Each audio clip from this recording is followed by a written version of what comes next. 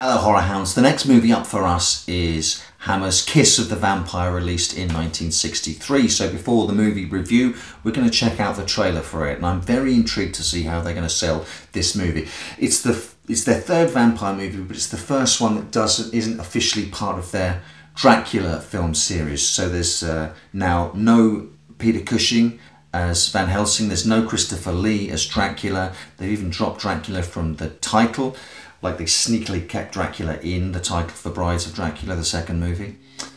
So I'm wondering what they're going to push to sell this because there are no big replacement names. It doesn't have the gore that was synonymous with other Hammer movies, and it doesn't have, frankly, if I'm being basic about it, it doesn't have the tits and teeth of other Hammer movies. So I wonder, I wonder what they're going to do to sell this, and I wonder if perhaps they may be going to try and oversell it, overhype this as a the story of a, an immortal horror or something like that. So there's only one way to find out, and that's to hit play on the trailer now.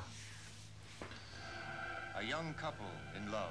Ah. Uh, enjoying a romantic honeymoon. A romantic honeymoon. Enjoying the pleasure of each other's company. The pleasure of each other's company. Right, they're selling it with sex. Of the kiss of love. right, okay. Watch a honeymooning couple.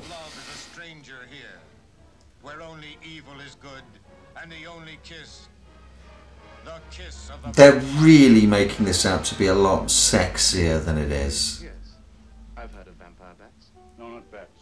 Vampires. Human vampires.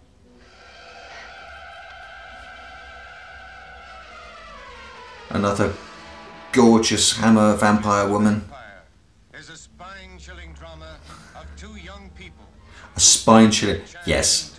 Yes. This they're showing clips from a gorgeous looking film where not that much happens and we're having voiceover man tell us that you know we we're not going to show you in the trailer but trust us this spine tingling tale of terror.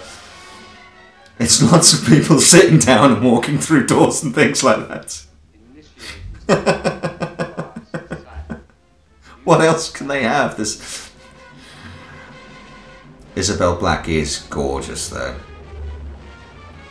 Oh, okay. The animated bat attack. Oh, they're showing the bats again. They did this in the trailer for uh, The Brides of Dracula. They, they showed the rubber bats, and I don't understand why. I suppose the bats in this one are the only really big special effect that the movie has. So they had to show a little bit of it. And at least, I guess, they showed it fleetingly in the trailer for The Brides of Dracula. That big rubber bat was all over the place twice, and it looked awful in the film, and it looked even worse in the trailer out of context.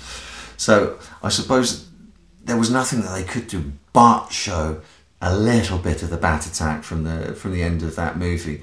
But uh, yeah, they were really pretending that that film is a lot sexier than it actually was and really selling a lot of stuff that's definitely going to happen in this film that's going to be spine tingling terror that we just can't show you. So here's some people opening doors and sitting down in chairs and standing around in rooms talking to one another.